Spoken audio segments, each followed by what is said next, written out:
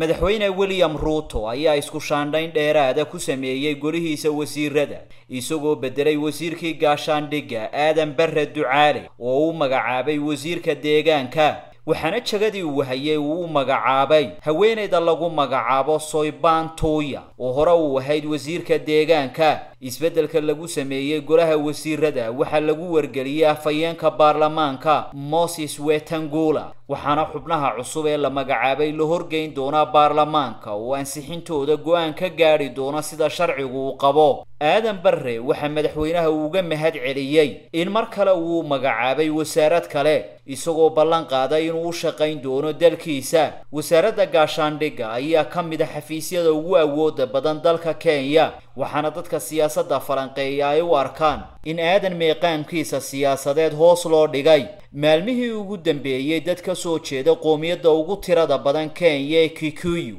ayaa soo hadal qaaday. Xilalka soomaalidu ay ka hayaan dowladda oo ay ka mid ahaayeen wasaaradda gaashaandhigga hay'adda nabad sugidda iyo hay'adda dembi baadhista maasha allah soo dhowaada. La jaanqaad shirkadda telesom. Maxmil waxay kuu diyaarisay adeegga internetka ay faibar optiga kaasoo xawaarihiisu kala go' lahayn. Waa guji waa ishaa biligteeda. Intuu soo gudlanayo hadalba gam. Hagarla ii ku isticmaal sochial midiyaha kuna daawo wararka cayaaraha iyo onlaine geemiska haddaba maxmil soo gasho gurigaaga xafiiskaaga iyo goobtaada shaqo.